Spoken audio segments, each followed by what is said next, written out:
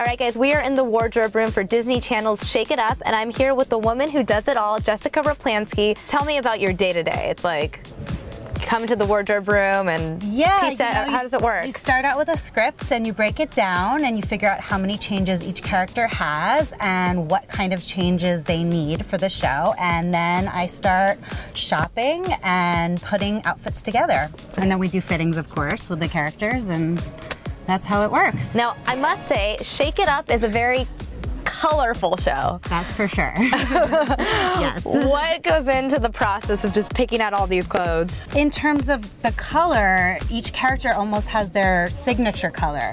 Uh, for example, Gunther and Tinka, they're very, very, probably the brightest of the characters. And they do a lot of leopard print, a lot of just loud pinks and oranges and patterns.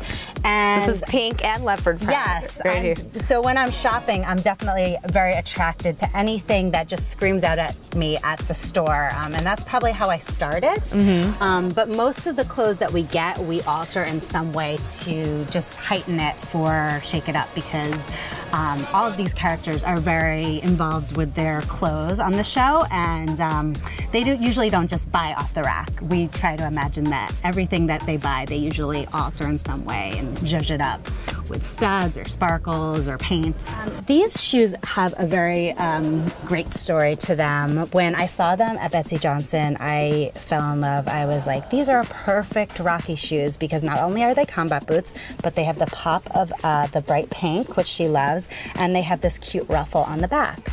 So when I asked about them, I found out that they were one of a kind, straight off the runway. As you can see, um, a model Dana wore them in the runway show. Um, and it was the same size as Zendaya. So I was super excited and I felt like it was shoe fate to get these shoes. And Zendaya was also very excited. This is an example of a CeCe shoe that actually also has a platform. But um, we loved them, but we thought they needed a little extra something. So we added these studs and the rhinestones ourselves. Oh, wow. Is um, it hard to do that? Yeah, uh, yeah it is. Don't try this at home, guys. Time consuming, but you know, once you get the hang of it, it gets a little easier. But yeah, it's it's time consuming. Um, this is another Cece shoe that is from the pilot, and these were hand uh, splattered. So these are cute, and they definitely make a statement. Wow. Um, and an easy way that um, we alter shoes for this show is just by simply changing the laces on them. This is an example of a Rocky boot that we just added, you know, a cute pink, um, pink, uh, turquoise lace to and just made it more girly and uh, more rock rockified. Who would you say is most like their character style and who is like the biggest stretch from their character style? I would say that Bella is the most like her character, Cece. Um, she's you know, a little girlier in real life, but they definitely have certain aspects that, um, you know, are, are very similar. So, um, and different, I would say, well, obviously Gunther and Tinka are, you know, way crazier on the show than they're the actors themselves, Caroline and Kenton.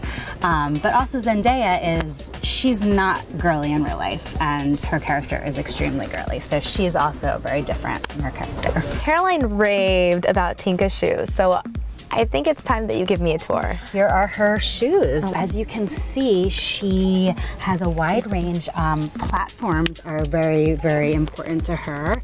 Um, and color and sparkles and leopard print are also very prevalent in her shoe collection. A lot of her shoes also come from little boutiques downtown um, and a lot of Japanese and Korean shops as well they go a little crazier with their shoes than Americans do sometimes. Literally every shoe has a little bit of a heel height. Yeah, yeah. yeah. Um, but you know, these are also, um, these don't have a heel and these are actually very um, Tinka wears these a lot when she's dancing or when she has to do a scene where she can't really wear a heel. But for the most part, she likes to wear a heel. I have had a blast checking out the Shake It Up closet. Jessica, thanks so much for showing me. Of course, anytime.